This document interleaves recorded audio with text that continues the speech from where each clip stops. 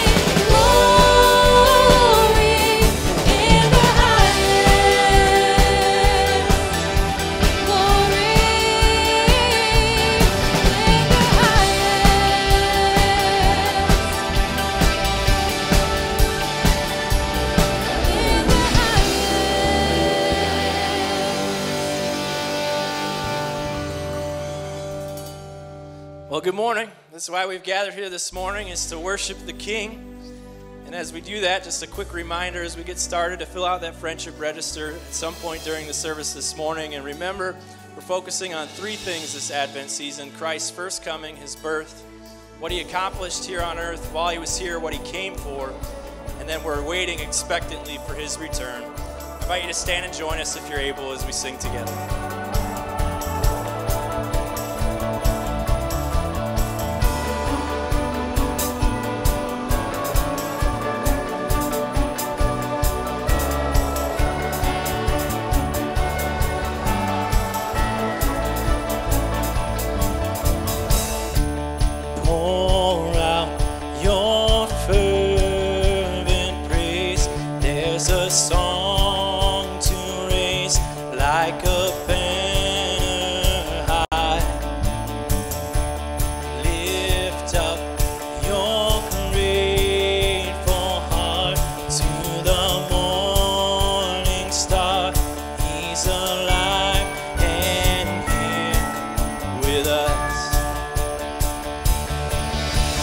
Shout for joy, for the Son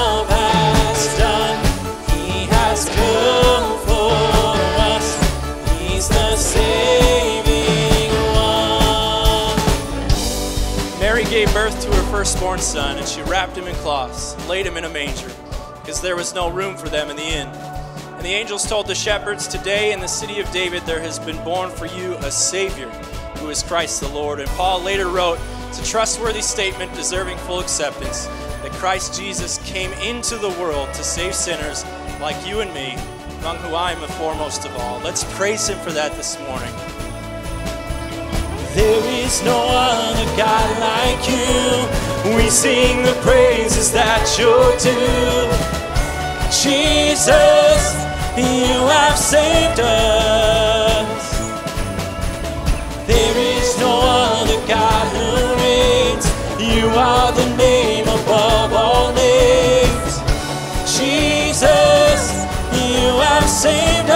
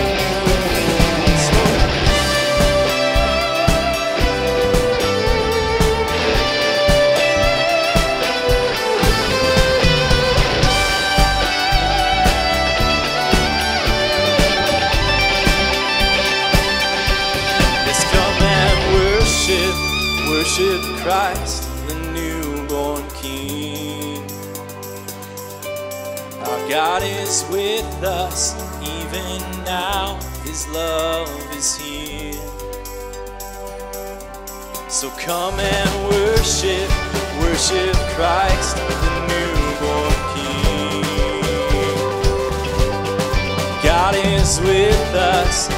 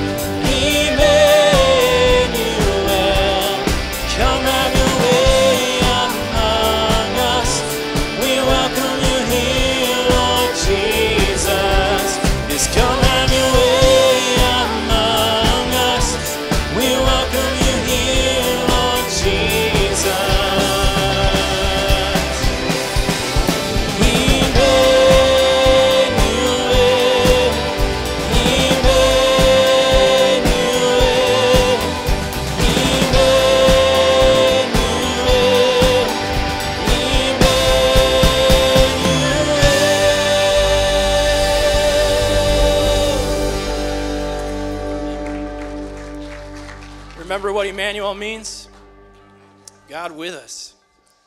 God came to save sinners. Amen? We're all sinners. I'm a sinner. I know my own sin. You know your sin. We're all in need of a Savior. It's a great gift that the Lord came to this earth. But again, He didn't just come to come, He came for a purpose. That's what we're about to sing about that Christ came to go to the cross for our sins.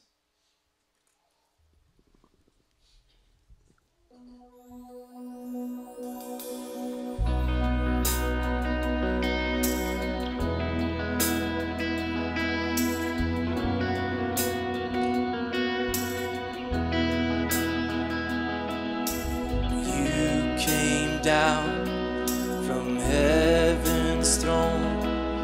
This earth you formed was not your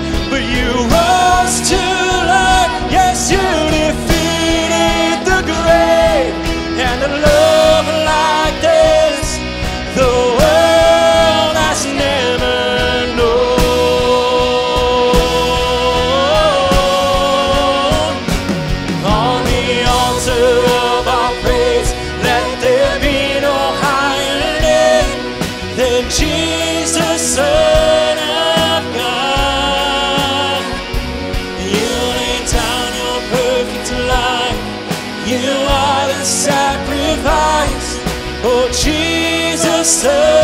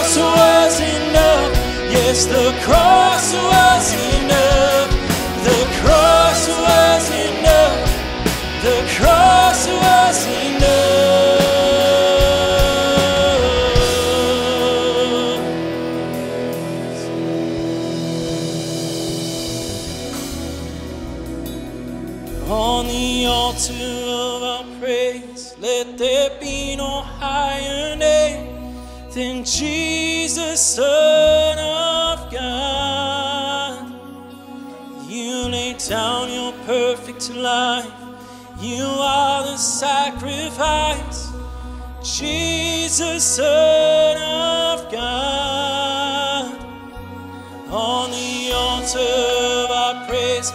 Let there be no higher name than Jesus, Son of God. You laid down your perfect life. You are the sacrifice, Jesus, Son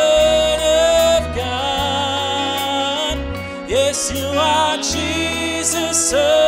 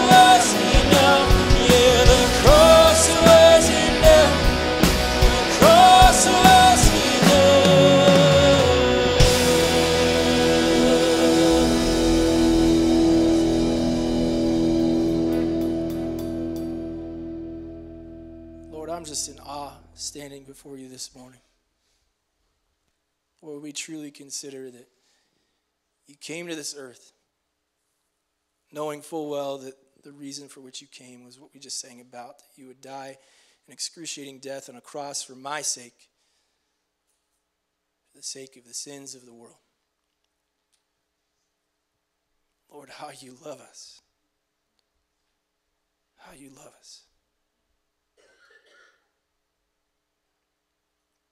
Lord, we thank you that the work that you accomplished on that cross and through your resurrection from the grave, that we have hope for eternal life with you, in communion and fellowship with you for eternity. What a great gift. No gift that we'll receive in a couple weeks will come anywhere close. It's not even in the same category. Greatest gift we've ever received is you, Lord Jesus Christ, coming to this earth to die for me, a sinner. Lord, may we consider that. May we live that. And Lord, may we rejoice. It fills us with such joy to know that we get to be with you for eternity.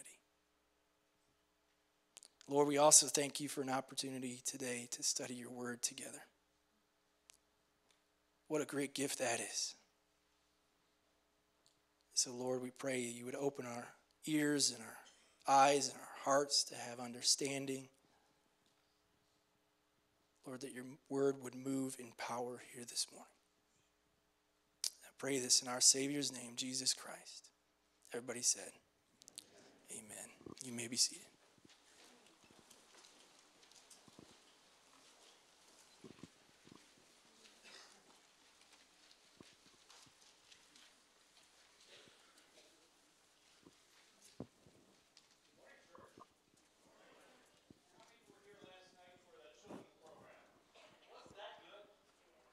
Of scripture, lots of singing, a little bit of humor.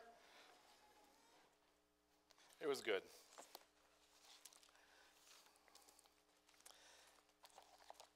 My wife had a birthday uh, the day after Thanksgiving. So later on in the week, I, uh, after Sunday, I took her to uh, just to get away for a while, a couple days. And while we were away, we went to uh, the theater to see a movie called The Man Who Invented Christmas. It's about Charles Dickens and how he wrote the Christmas Carol. We got there on time to watch the previews, and as we sat down in the prime seats, you know, three quarters of the way up, right dead middle, so nobody would block us, we found out that we were the only two in the whole theater the whole movie. I wasted a good makeout opportunity.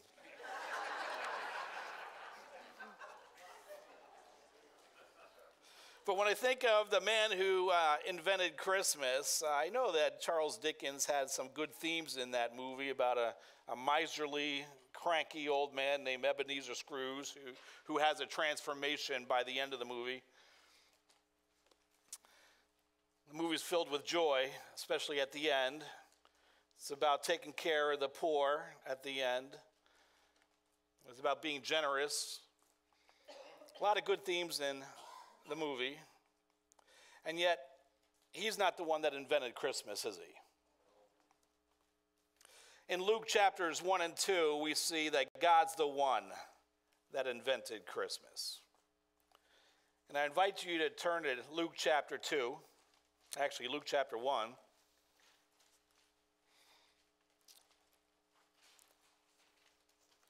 I titled today's message, The Visit Between Two Specially Chosen Women.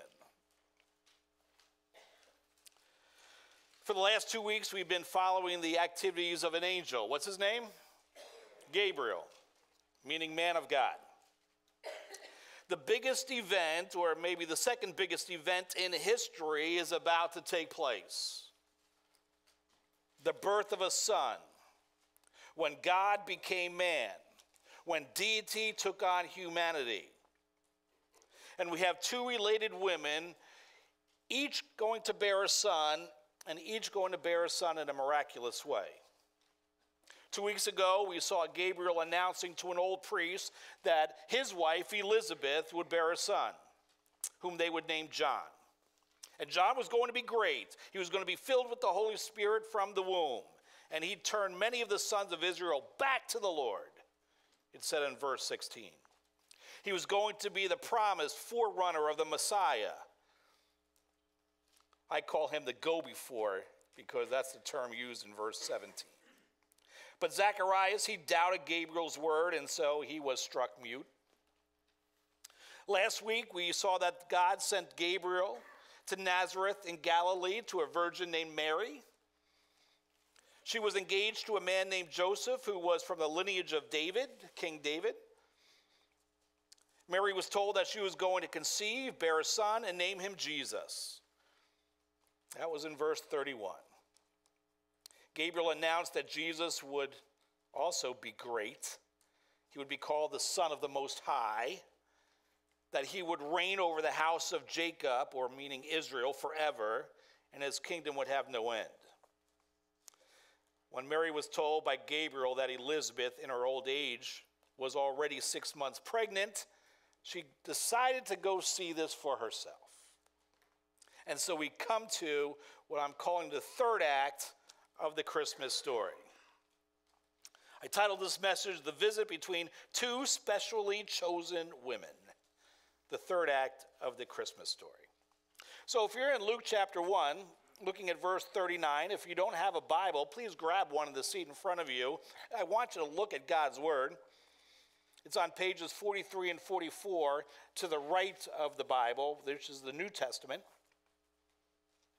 Verse 39. Now, at this time, Mary arose and went in a hurry to the hill country to a city of Judah and entered the house of Zacharias and greeted Elizabeth. When Elizabeth heard Mary's greeting, the, ba- the baby leaped in her womb, and Elizabeth was filled with the Holy Spirit.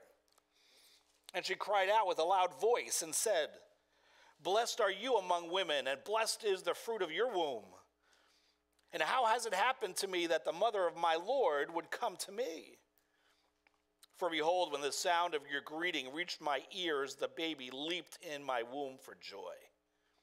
And blessed is she who believed that there would be a fulfillment of what had been spoken to her by the Lord. And Mary said, My soul exalts in the Lord, and my spirit has rejoiced in God my Savior. He has had regard for the humble state of his bondslave. For behold, from this time on, all generations will count me blessed. For the mighty one has done great things for me, and holy is his name. And his mercy is upon generation after generation towards those who fear him. He has done mighty deeds with his arm. He, he has scattered those who were proud in the thoughts of their hearts. He has brought down rulers from their thrones and has exalted those who were humble.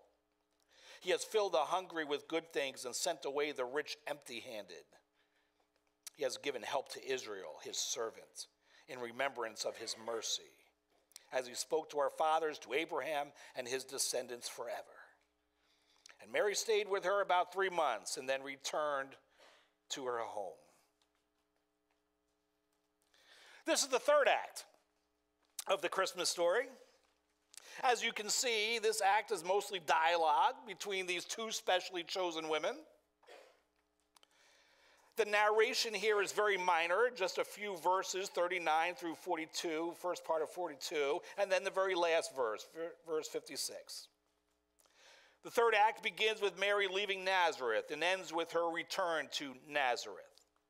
So let's look at Mary visiting Elizabeth. Mary visited Elizabeth. What does Luke emphasize when you look at 39 and 40? Well, he emphasizes her swiftness of action. At this time, Mary arose and went in a hurry. The swiftness of her action. She arose, went in a hurry. She went in haste. Luke emphasizes her destination. She went to the hill country, to a town of Judah. This is a place where there's they're country folk. They're not city folk. And Luke emphasizes her arrival and greeting. She entered the house of Zacharias and she greeted Elizabeth. That's what he emphasizes. Now, what does Luke leave out? Lots. He leaves out a whole lot. There's, there's like no detail of the journey. What route did she take? Doesn't tell us. So let's look at the map. Da, da. Here's Nazareth over here. Here is Judea or Judah, the land of Judah. This is the hill country. Now, all of this is called the Shephelah. It's called the hill country. So when you go from up here in the region of Galilee down to Jerusalem or Judah, most people do not take the straight road through the mountains. It's too long, it's too hard. So what they do is they go along the river and then come up into the hill country, or they go along the coastal plain and then come into the hill country. So, what does Luke tell us the route Mary took? No idea. We don't know. He doesn't tell us. How long did the trip take? We don't know. How many miles was it? It's got to be between 60 and 70 miles. You can't do that in one day. Did she ride or did she walk? We don't know. Although all the Christmas pictures have Mary what? Riding that donkey, okay? So, anyway, but did she ride or walk? By the way, would any family allow a single teenage daughter to travel by herself 65 miles? No. Does Luke tell us who her traveling companions are? No. He's leaving all those details out. Does he even tell us the name of the town in the hill country? Nope. Does he record the greeting? What words she said? Nope. She might have said something like, Shalom, the Lord is with you. We don't know exactly what she says. Luke leaves out a lot because these matters are not important. What is important is the dialogue between Elizabeth and Mary. And isn't that what he focuses on? It's all about what are they saying to one another. That's what God wants us to know. So let's look at the dialogue of these two women. It's the focus of this scene. In verse 41, we see that Elizabeth reacted to Mary's greeting. When Elizabeth heard Mary's greeting, the baby leaped in her womb. So we see immediately she responded physically. She heard the greeting, whatever the words were, and the baby, meaning John, that's what they're going to name him, leaps in her womb. Now, as a man, I have no idea what this might be like. I've had the privilege of feeling the, mm, well, feeling the baby kick of my son. Babies turn in the womb, they move in the womb, but here it says leap. I have no idea. Women, do you think you know what it means when a woman when a baby leaps in you? Who said yeah? Sally, come on up here and demonstrate what that would be like. The baby leaps. And in verse 44, it said the baby leaped in her womb with joy. Leaped with joy. Now, this is, I find this amazing, right? Anyway, she responds physically. She also responded spiritually. She was filled with the Holy Spirit. Being filled with the Spirit before Pentecost, which is recorded in Acts chapter 2, was not common. In the Old Testament, the Spirit of the Lord only came upon certain people, like Moses in Numbers 11 17. On some of the judges, like Othniel, Gideon, Jephthah, and Samson. On some of the kings, the Spirit of the Lord came upon Saul, came upon David. In fact, here's one reference in 1 Samuel 16, verse 13. Samuel took the horn of oil, anointed him, meaning David, in the midst of his brothers, and the Spirit of the Lord came mightily upon David from this that day forward. And Samuel arose, went to Ramah, that's where he, he dwells, and now the Spirit of the Lord departed from who? Saul. And an evil spirit, this is kind of, this will change your theology a little bit. The evil spirit from who? From the Lord terrorized him. See, the Spirit coming upon people in the Old Testament was rare. Was David fearful that he would lose the Spirit? Yeah, after his sin with Bathsheba, this is what he writes in Psalm 51:11. He says, "Do not cast me away from your presence, and do not take your Holy Spirit from me." He knew because of his sin, his adulterous sin, that he might lose God's presence. He doesn't want the Spirit to leave him. Spirit of the Lord coming upon people was rare before Pentecost. And yet here it's coming upon Elizabeth. And here the Spirit fills Elizabeth. And he fills her so she can speak this blessing over Mary. Notice the phrase, she cried out with a loud voice. Now, how far apart are these two women? Opens the door, greets, baby leaps, she's filled with the Spirit, and she says, Blessed are you! you got the idea? They're, they're a foot apart. That was more than a foot. She's filled with the Spirit. She cries out with a loud voice. The divine voice is on her, and her words are these divinely inspired words. And Elizabeth replied to Mary's greeting. She pronounced three blessings. Blessed are you, Mary, that's you. Blessed are you among women. Among all women, Mary's the one that's found favor with God. Blessed are you. Secondly, blessed is the fruit of your womb, meaning who? The baby, the unborn, Jesus. Blessed is the fruit of your womb. Did Mary open the door and says, "Greeting, did you know I'm going to get pregnant?" How did Elizabeth know she was carrying a child?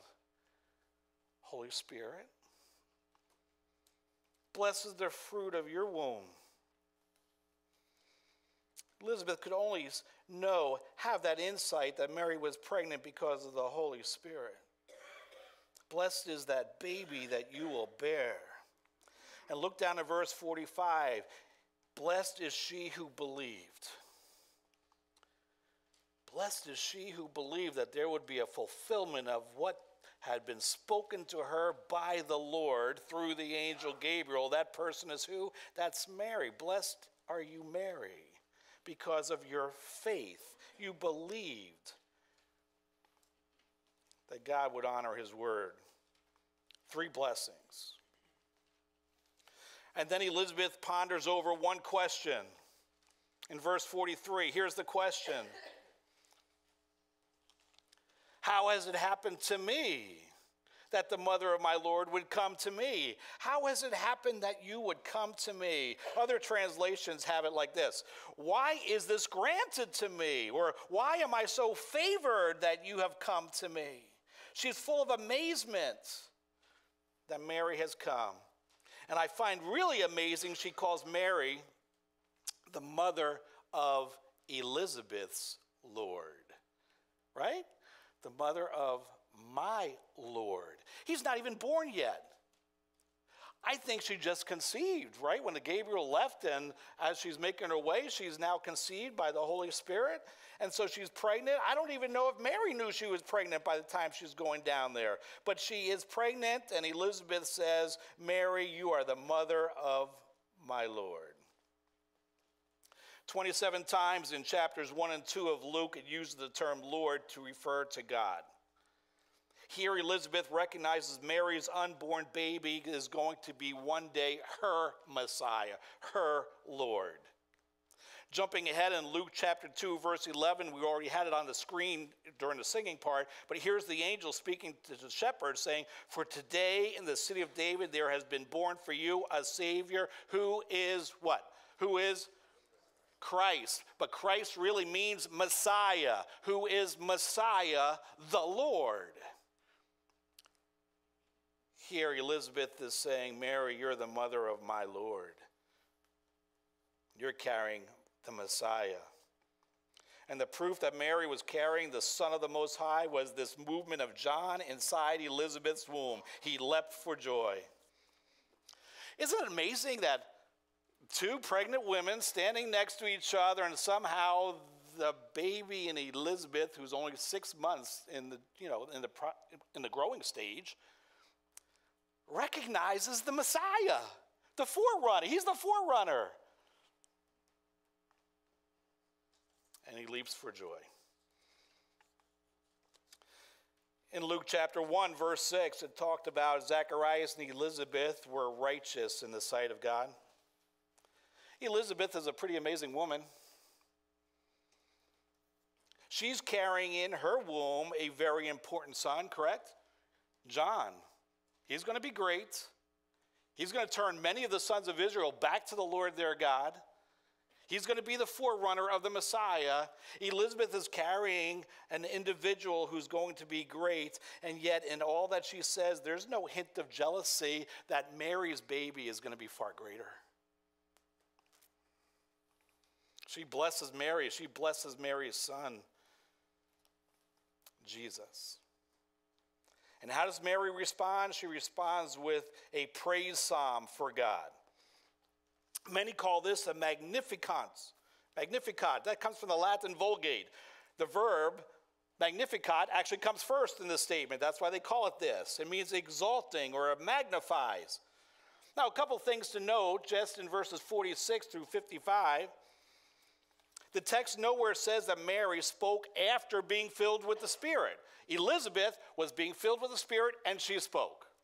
That's not what it says here about her. She's not being filled with the Spirit and then speaking. Therefore, this poem, this hymn, this psalm was not one of those on the spot, Holy Spirit inspired words. It's not like the Holy Spirit came upon her and then she spoke. It's very possible that she composed this psalm, this poem, as she was journeying to Elizabeth. Perhaps she was musing or thinking about Hannah's song of praise from 1 Samuel chapter 2. Look at these words from 1 Samuel chapter 2.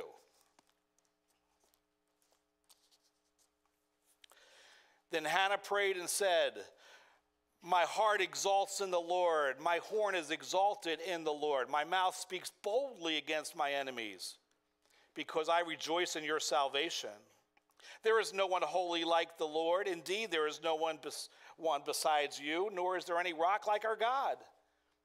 Boast no more so very proudly. Do not let arrogance come out of your mouth, for the Lord is a God of knowledge, and with him actions are weighed.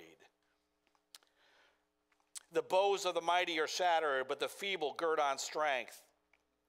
Those who, who were full hired themselves out for bread, but those who were hungry cease to hunger. Even the barren gives birth to seven, but she who has many children languishes. The Lord kills and makes alive. He brings down to Sheol and raises up. The Lord makes poor and rich. He brings low. He also exalts. He raises the poor from the dust. He lifts the needy from the ash heap to make them sit with nobles and inherit a seat of honor. For the pillars of the earth are the Lord's, and he sets the world on them. He keeps the feet of his godly ones, but the wicked ones are silenced in darkness. For not by might shall a man prevail. Those who contend with the Lord will be shattered, and against them he will thunder in the heavens. The Lord will judge the ends of the earth, and he will give strength to his king, and will exalt the horn of his anointed. There are so many similarities between 1 Samuel chapter 2 and what Hannah said. I mean, what Hannah said and what Mary says here in verses 46 and following. Let's look at Mary's praise song.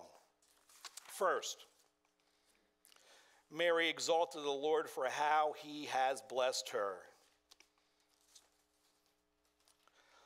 46, it says, My soul exalts or magnifies the Lord, and my spirit has rejoiced in God my Savior. She exalts the Lord and rejoices in God her Savior. Does this mean that Mary needed a Savior? The answer is what?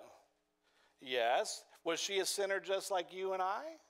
You and me? What's the correct English? See, that was I sinned right there by saying the wrong word. I missed the mark. Yeah, she needed a savior. She rejoices over the fact that God noticed her humility in verse 48. For he has regard, he's seen, he has regard for the humble state of his bondslave. For behold, from this time on, all generations will count me blessed. Is she to be worshiped? No, but you are to count her blessed. She rejoices over the fact that God took notice of her humility. By the way, does God see when you're humble? Yes. She rejoices over her role in bringing the Messiah into this world, that future generations will call her blessed. In verse 49, she rejoices for the reason that God, the mighty one, has done great things for her. This is so rich in theology. God, Savior, God is the mighty one. And secondly, notice how Mary exalts the Lord for how he has blessed others. In verses 49 through 53, we can see in this section of her praise song, she focuses on three of God's attributes his power, his holiness, and his mercy in verse 50. For the mighty one, he's powerful, has done great things for me. Holy is his name, his holiness and his mercy is upon generation after generation toward those who fear him. That's a quote from Psalm 103, verse 17. And then he goes into the mighty, the powerful deeds that he has done. And notice the reversals here. He scattered the proud, he brought down rulers, he exalts the humble. Now, do you think Mary's thinking of Israel's history, how God has humbled the proud? very well. Could, she could also be thinking of world history. The proud Babylonians, did God bring them down? Yes. What about the Medes and the Persians? Yes. What about the kingdom of Greece? Yes. What about the Roman Empire? Will God bring that down? Yes.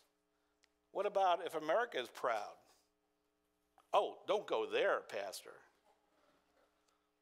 He brings down the proud. Isn't there a verse somewhere where it says God is opposed to the proud but gives grace to the humble? Yes, there is. It's in James chapter 4, verse 6. Also, 1 Peter 5 5. God opposes the proud but gives grace to the humble. Is that a lesson we need to learn individually? Is it easy for us to get prideful? Absolutely. You want God to be opposing you? Be proud. You want God's grace? Be humble. Verse 53 says, God has filled the hungry and sent the rich away empty handed. Aren't these the reversals very similar to 1 Samuel chapter 2? Mary exalts the Lord for how he has blessed her. Mary exalts the Lord for how he has blessed others. And now Mary exalts the Lord for how he has blessed Israel.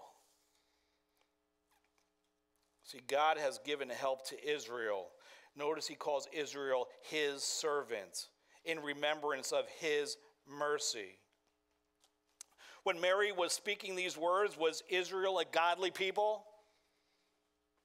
Well, why would you send John the Baptist then, who needs to turn the people of Israel back to the Lord their God? Were they religious people? Absolutely, they were religious, but they weren't righteous. They had religion, but they weren't righteous. That's why the Messiah had to come. But let me ask you will God ever abandon Israel?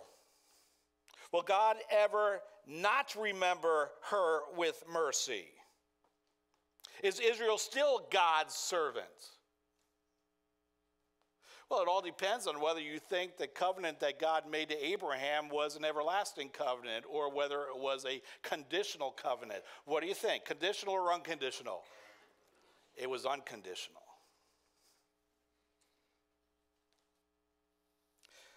God will never abandon Israel. He will not ever stop remembering her with mercy because he chose her when he chose Abraham, Isaac, and Jacob. He chose him to love them and for them to be his people. In Deuteronomy chapter 7, verses 7 and 8, Moses wrote, the Lord, Yahweh, He did not set His love on you nor choose you because you were more in number than any of the peoples, for you were the fewest of all peoples, but because the Lord loved you and kept the oath which He swore to your forefathers. Why does God love Israel? He made an oath to Abraham, Isaac, and Jacob to love Israel. And that's why the Lord brought you out by a mighty hand and redeemed you from the house of slavery, from the hand of Pharaoh, king of Egypt. God did not give Israel the land because of their righteousness. Do you know that? He didn't give it to them because of their righteousness, but because of the oath that he made to Abraham, Isaac, and Jacob. In Deuteronomy chapter 9, verses 5 and 6, it says this It is not for your righteousness or for the uprightness of your heart that you're going to possess their land, but it is because of the wickedness of those nations that the Lord your God is driving them out before you. In order to confirm the oath which the Lord swore to your fathers, to Abraham, Isaac, and Jacob. Know then, it is not because of your righteousness that the Lord your God is giving you the good land to possess, for you are a stubborn people. Does God know Israel? It's not because they're righteous that they're given the land, but it's given to them because of an oath that God made to Abraham, Isaac, and Jacob. I'm sometimes asked, Do I support Israel? My answer is yes. Well, why? Because in Genesis chapter 12, verse 3, when God's making that covenant with Abraham, he says, I will bless those who bless you. And the ones who curses you, I will curse. And in you, all the families of the earth will be blessed. Does that mean that I think that Israel is always righteous in what they do? No. Do they do some horrible things sometimes? Yes. Then why do you support them?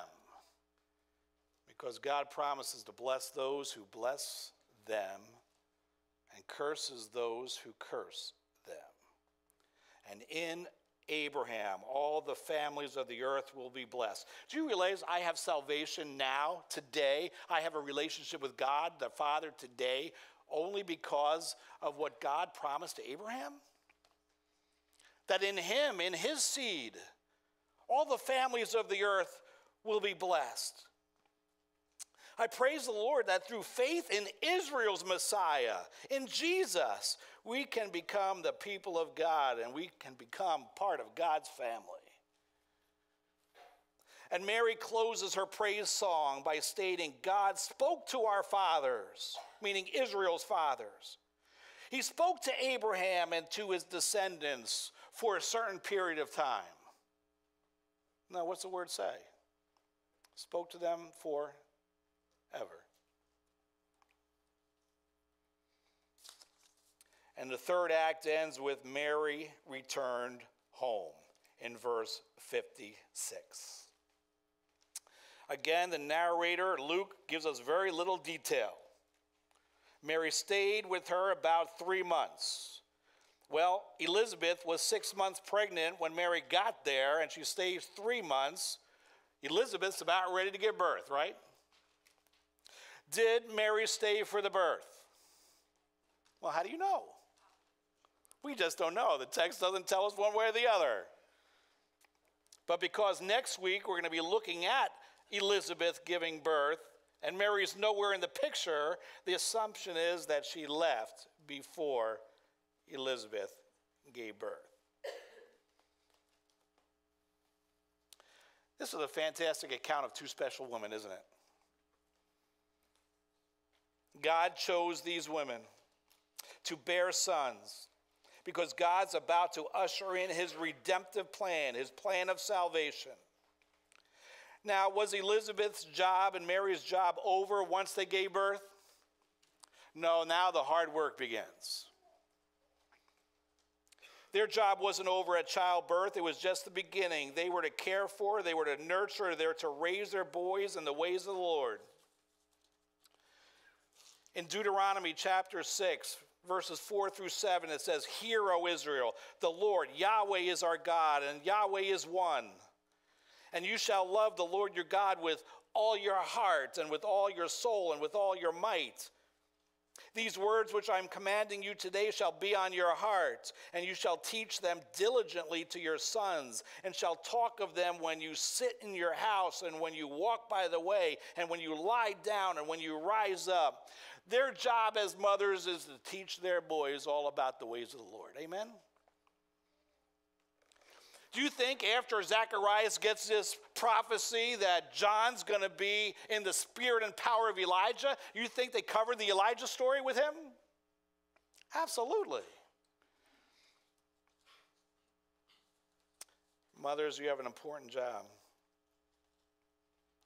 For Elizabeth, giving birth to John would take away her disgrace among men. Remember? It would take away her disgrace among men. For Mary, it's just the opposite. Giving birth to Jesus would bring disgrace upon herself from men, right? Because she wasn't married when she conceived. And it looks like to everybody she was bearing a child out of wedlock. Was Mary willing to go through that? Yes. Each of these women, they were each willing to be used by God for God's purposes and for God's glory. Reread this. This is rich in theology. Let's pray. Father,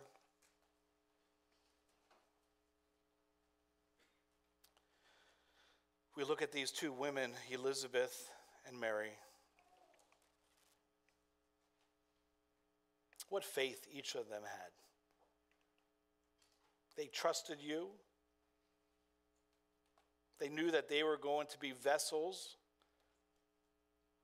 to bring into this world two mighty men John, the forerunner of the Messiah, and Jesus, who is the Messiah.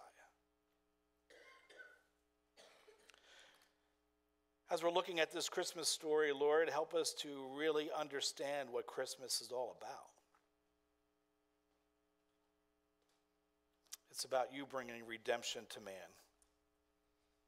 Religion does not save, a relationship with Jesus Christ saves. Father, as we reread the Christmas story year after year, may it never become old for us. May you always show us new insight from your word. And as we get closer to the final two acts of the Christmas story, the birth of John and the birth of Jesus, we ask that you once again would show us in detail the true meaning of Christmas. We ask this in Christ's name. Amen.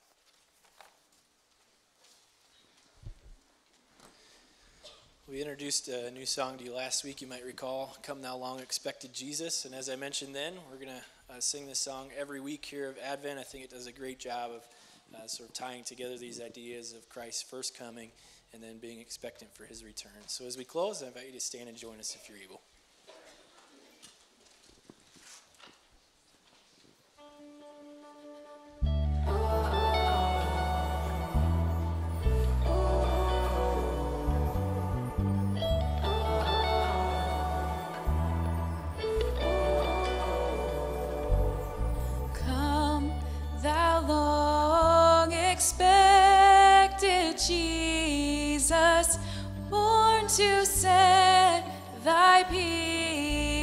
Free from our fears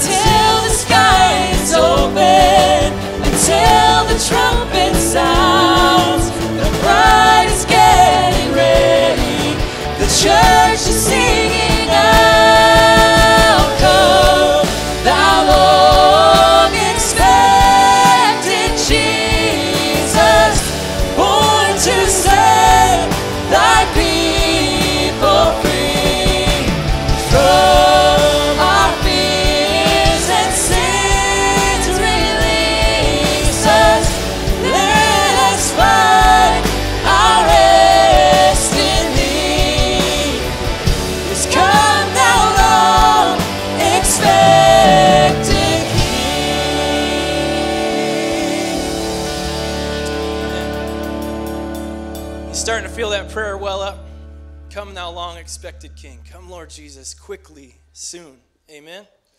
Let's keep developing that here as we approach Christmas. Not only that we celebrate his first coming, but that we look forward to his return. Truly look forward to it. Thanks so much for being with us this weekend. Just a couple quick reminders as you leave.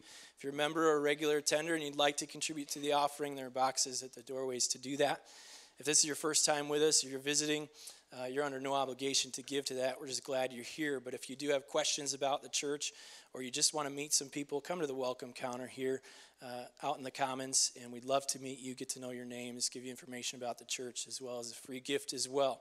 So we'd love for you to join us. Also, just so you're thinking about it, as we uh, are just a couple of weeks away from Christmas, we will be having normal services on Christmas Eve at 9 and 10:30. Those will be just just like these services, normal services, and then Christmas Eve nights, we're going to have a more traditional kind of carol uh, singing and, and reflection time and a, and a devotional there as well. That'll be at 6:30 on Christmas Eve, so you're welcome to that as well.